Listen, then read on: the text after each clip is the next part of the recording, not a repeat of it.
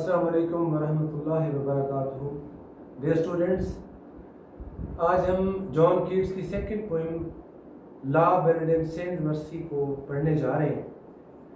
कि this is a poem about two things there are critics who say that John Keats is hankering after beauty, and others say that he is searching for his beloved that proved unfit.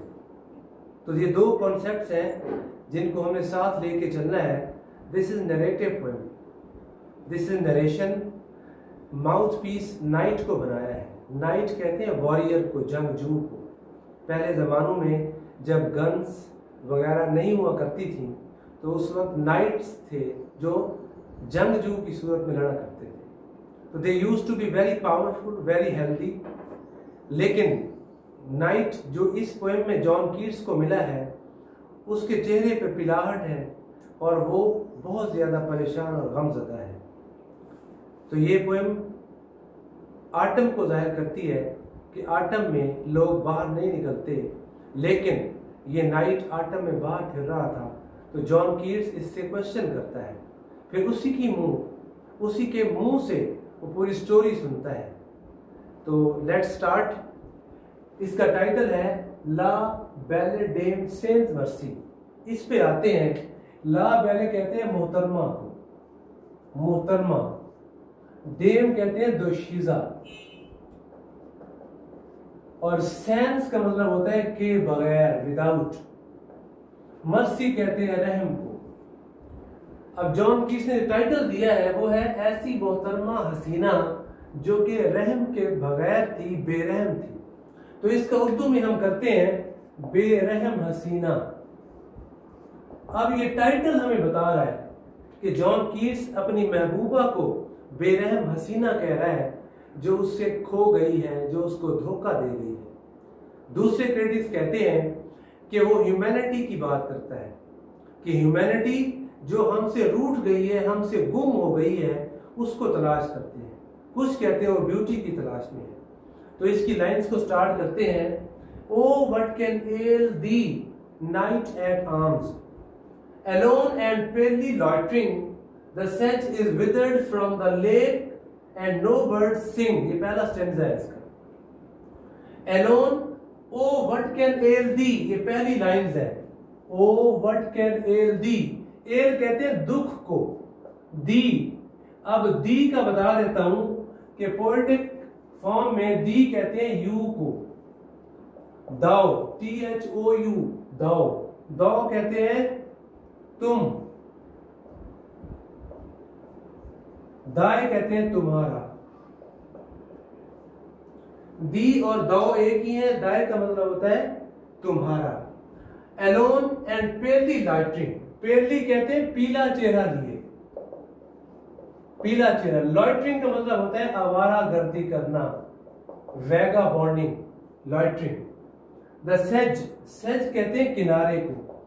किनारा विदड़ मुरझाया हुआ है। From the lake झील का and no bird सिंग कोई परिंदे नहीं गाते। यानी पहले स्टेंजे में, इसका एक ड्रामेटिक सीन है कि जॉन कीट्स जा रहा है, उसको एक नाइट मिलता है। वो नाइट आवारा गर्दी कर रहा है। और उसके चेहरे पे पिलाट है। तो जॉन कीट्स कहता है कि खिजा के मौसम में, जबकि झील का किनारा मुरझा चुका है, वहाँ जो घास थी वो भी मुरझा चुकी है तो नाइट को कौन सी मुसीबत ने आ घेरा है कि वो वहाँ फिर रहा है?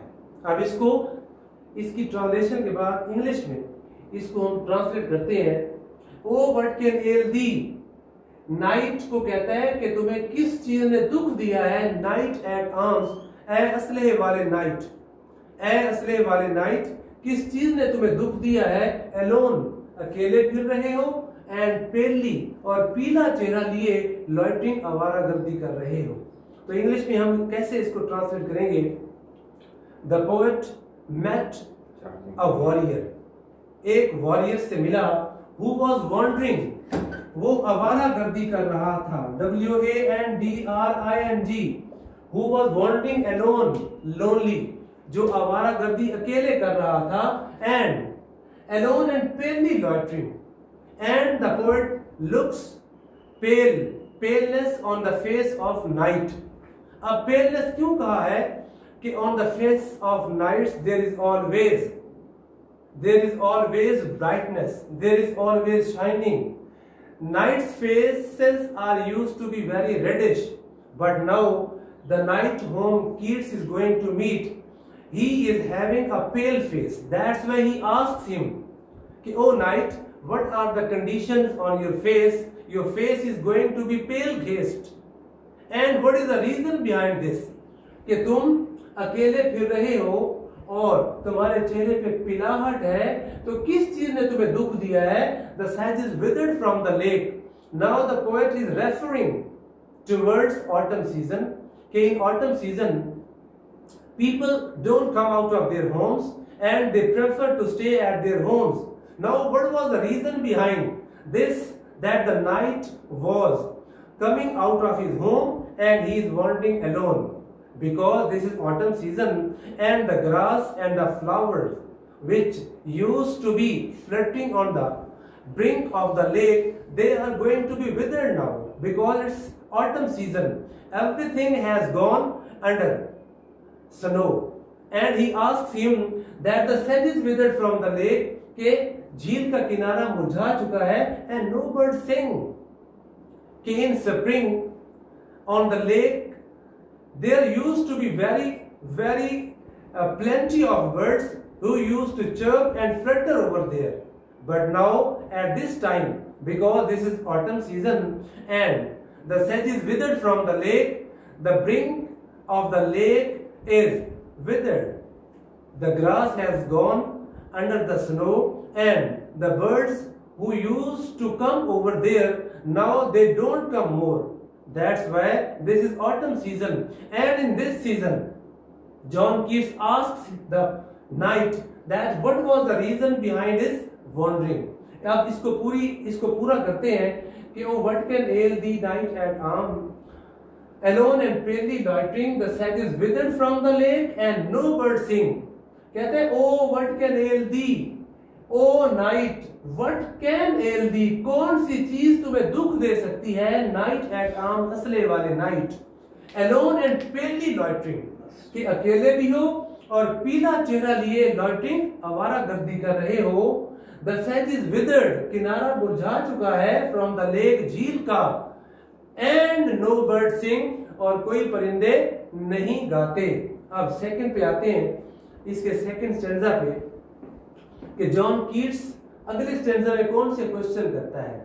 वो कहते हैं what can ail thee knight at arm ये repetition of the first line है कि ए असले वाले नाइट ए असले से लेस नाइट वो कौन सी चीज़ है जिसने तुम्हें दुख दिया है? यानी the poet is asking question from knight that he used to be very powerful very cheer up. Now, what is the reason behind his palely face what is the reason behind this frustration and disappointment कि that the poet is looking at the face of the life and he is guessing that he is in trouble he is in difficult condition इसलिए पूछता है कि what can ail thee knight at हम ऐसे वाले night वो कौन सी चीज़ है जिसने तुम्हें दुख दिया है? सो हैगर्ड ये लफ्ज है H A double G A R D haggard कहते हैं परेशान ज़दा।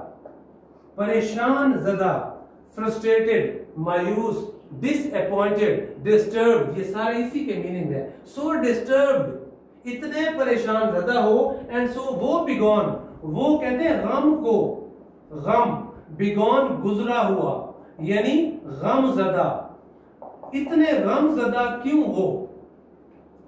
दो वर्ड्स हैं। कि कहता है कि सो हैगर्ड एंड सो वो बिगॉन, इतने परेशान जदा और इतने गम जदा क्यों हो? द स्क्वेरल्स गलहरियों की ग्रैनरी गल्ला। अब ऑटम में क्या होता है? Again this is the second point that is referring towards autumn season कि जब स्प्रिंग आती है तो गलहरियाँ पूरे अपने गले को आटम के लिए स्टॉक कर लेती है, अपने बिलों में। तो वो कहता है the squirrel's granary is full गलहरियों ने अपना गल्ला स्टॉक कर लिया है। अब John Keats is not a common poet and he is not only talking about squirrels he is generalizing this कि हर इंसान ने, हर जी रूह ने ऑटम के सीज़न में अपने गले को स्टॉक कर लिया है एंड द हार्वेस्ट डन और कटाई भी हो चुकी है। यानी the farmers are satisfied because they have cut their crops and they have put it into their stores now they are totally satisfied and they are resting at their homes but what is the reason with knight he is alone and palely loitering वो कहता है कि तुम्हें किस चीज ने दुख दिया है असले वाले नाइट सो हैगर्ड इतने परेशान ज्यादा हो एंड सो वो बी गॉन और इतने गम ज्यादा क्यों हो the squirrel's granary is full गलहरियों ने अपना गला फुल कर लिया है and the harvest has done और कटाई भी हो चुकी है। अब इसको इंग्लिश में करते हैं कि जॉन कीट्स जब भी कोई वर्स लिखता है तो उसका मतलब सिर्फ़ एक नहीं होता। ही जनरलाइज इट अब जैसे इन लाइन में लिखा है the squirrel's granary is full कि गलहरियों ने अपना गला स्टोर कर लिया है, इसका मतलब है हर इंसान ने, हर चीज़ ने आटम के सीज़न में अपने आप को मुकैद कर लिया है। अपनी खुराक की जरूरियात पूरी करके। Again we start these lines कि in these lines the poet John Keats who is known as the poet of beauty and love, he is asking question from a knight who was wandering alone in a meadow ये कहाँ फिर रहा है? मेडो में। अब मेडो किसे कहते हैं? मेडो कहते हैं सब्जाजार को। इसको मीडो भी प्रोनाउंस करते हैं मेडो सब्जाजा सो Hagen and so woebegone John Keats is stern he is shocked he is astonished to look at the poor plight of knight उसकी अजीब और गरीब हालत देखकर परेशान है।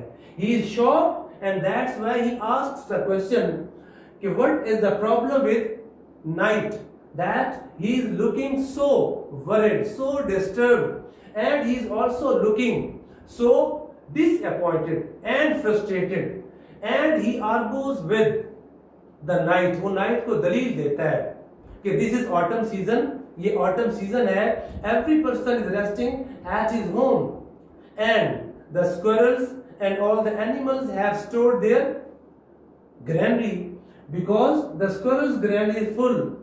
The animals, the birds, each and every species who has stored his granary and the farmer are satisfied because they have cut their crops and they have stored it into their stores.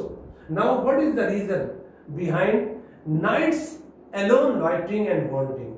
That these are the two questions John Keats is asking. Come on.